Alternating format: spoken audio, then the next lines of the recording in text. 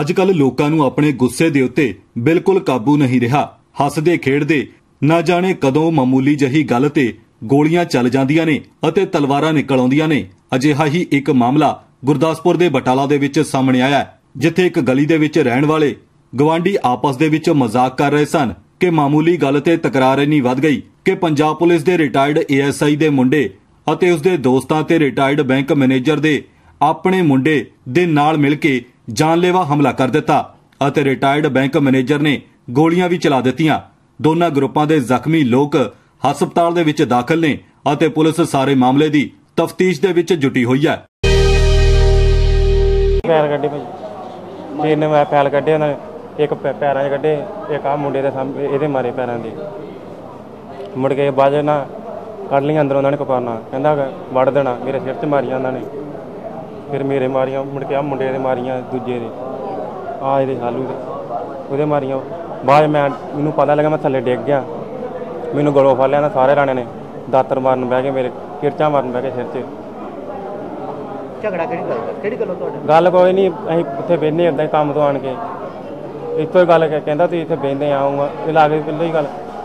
ਤੇ ਕਹਿੰਦਾ ਤੁਸੀਂ ਇੱਥੇ ਬਹਿੰਦੇ ਆਉਂਗਾ ਇਦਾਂ ਠਾਂ ਠਾਂ ਗੱਲ। ਕਹਿੰਦਾ ਅੱਜ ਵੇਖਣਾ ਵੇਖਣਾ ਅਸੀਂ ਠੋਕ ਦੇਣੇ ਆ। ਤੇ ਗੋਲੀਆਂ ਮੁੜ ਕੇ ਗੋਲੀਆਂ ਚਲਾਉਣ ਬਹਿ ਗਏ। ਪਹਿਲੋਂ ਦਾ ਆਵਾਜ਼ ਕੱਢਣ ਦਿਆ। ਸਰੀਏ ਮੇਰੇ ਜਾਣ ਕੇ ਇਹਨਾਂ ਨੇ ਮਾਰੇ। ਉਦੋਂ ਵੀ। ਗੱਲ ਭਾਜੀ ਆਪਣੇ ਘਰ ਦੇ ਬਾਹਰ ਬੈਠੇ ਆ। ਠੀਕ ਨਹੀਂ ਉਹ ਥੋੜੀ ਚਿਰ, ਦੋ ਚਾਰ ਪੰਜ ਦਿਨ ਹੋ ਗਏ ਤੇ ਉਹਦੀ ਜਿਹੜੀ ਆ ਕਮੈਂਟਮੈਂਟ ਮਾਰਦਾ ਸੀ ਮਲੂਕ ਸਿੰਘ। ਨਾਲ ਉਹਦਾ ਮੁੰਡਾ ਸੀ। ਜਦੋਂ ਆਪਾਂ ਦੋ ਚਾਰ ਬੈਠੇ ਆ ਆਪਣੇ ਸੱਜਣ ਮਿੱਤਰ ਹੀ, ਘਰ ਦੀ ਫੈਮਿਲੀ ਤੇ ਆਪਣੇ ਘਰ ਦੇ ਬਾਹਰ ਬੈਠੇ ਤੇ ਪਲੱਸ ਮਲੂਕ ਸਿੰਘ ਆਇਆ। ਠੀਕ ਨੇ, ਜਦੋਂ ਉਹਨੇ ਸਾਨੂੰ ਵੇਖਿਆ ਤੇ ਆਪਣੇ ਮੁੰਡੇ ਨੂੰ ਆਵਾਜ਼ ਦੇ ਮਗਰ ਲਲਕਾਰਾ ਮਾਰ ਕੇ ਕਿਹਾ, ਅੱਜ ਬੈਠੇ, ਅੱਜ ਨਹੀਂ ਇਹ ਛੱਡਣੇ। ਠੀਕ ਆ, ਆਪਣੇ ਮੁੰਡੇ ਨੂੰ ਆਵਾਜ਼ ਮਾਰੀ ਆ। ਮਾਰੀ ਆ ਤੇ ਉਦੋਂ ਕੋਈ ਦਾਤਰ ਕੇ ਕਿਰਪਾਨ ਸੀ। ਠੀਕ ਆ, ਉਹ ਸਿੱਧਾ ਸਾਡੇ ਵੱਲ ਆ ਗਿਆ। ਆਇਆ ਤੇ ਆ ਮੁੰਡੇ ਨੂੰ ਉਹਨੇ ਪਿਓ ਨੂੰ ਫੜ ਲਿਆ, ਮਲੂਕ ਸਿੰਘ ਨੇ ਆ ਮੁੰਡੇ ਨੂੰ ਫੜ ਲਿਆ, ਦੂਜੇ ਨੇ ਮੈਨੂੰ ਫੜਿਆ ਵਾ, ਗੁੱਲੇ ਨੇ।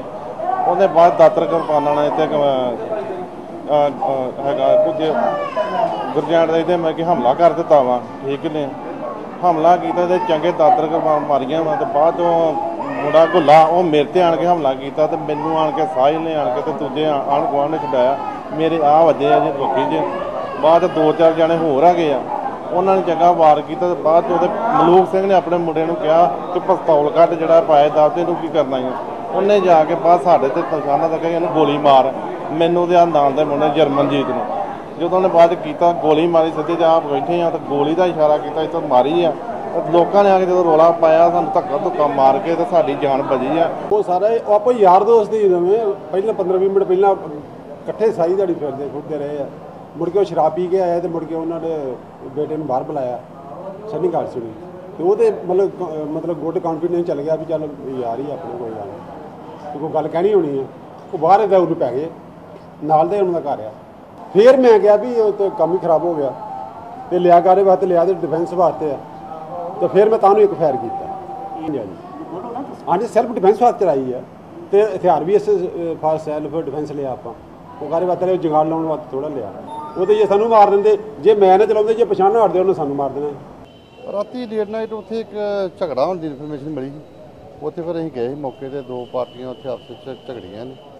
ਇੱਕ ਸਨੀ ਕਰਕੇ ਮੁੰਡਾ ਆ, ਦੂਸਰੇ ਬੰਨੇ ਗਗਨਦੀਪ ਹੈ ਸਾਡਾ ਏਐਸਆਈ ਨੇ ਤਿਲਕਰਾਜ ਟਾਇਰ ਨੇ ਉਹਨਾਂ ਦਾ ਬੇਟਾ ਹੈ। ਉਹ ਐਡਮਿਟ ਨੇ ਹਸਪੀਟਲ ਦੇ ਵਿੱਚ, ਜੇ ਸਾਡੇ ਕੋਲ ਐਮਐਲਆਰ ਹੁਣ ਪਹੁੰਚੀ ਹੈ ਉਹਨਾਂ ਦੀ। ਤੇ ਉਹਦੇ 'ਚ ਅਸੀਂ ਤਫਤੀਸ਼ ਕਰ ਰਹੇ ਹਾਂ ਜੋ ਦੇਖੋ।